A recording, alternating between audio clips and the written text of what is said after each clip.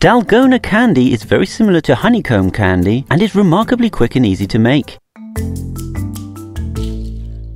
You'll need some white sugar, sodium bicarbonate or baking soda, a little bit of oil, butter or cooking spray, some greaseproof or baking paper, some biscuit cutters and a non-stick pan. First grease your biscuit cutter and baking paper with butter, oil or cooking spray. Next put your non-stick pan on a low heat and add 3 tablespoons or 37 grams of sugar. Then stir. Keep stirring until the sugar begins to melt. When the sugar melts and begins to brown, add a pinch of baking soda or bicarb. Take off the heat and continue to stir until the mixture is homogeneous. Then pour it onto the baking paper. It should be enough to make two dalgonas. Fold the paper over the top of them and use something flat to squash them to the desired thickness. If the dalgona is too hot, the paper won't peel off properly. If you leave it too long, it will be too cold and hard to make the shape in it. So don't just leave it to cool. Immediately after pressing down to flatten the dalgona, gently attempt to peel the paper off. As soon as it lets go, peel the paper off and use the biscuit cutter to press the shape into the dalgona to mark it. Let us know how they turn out in the comments below and please like and subscribe for more.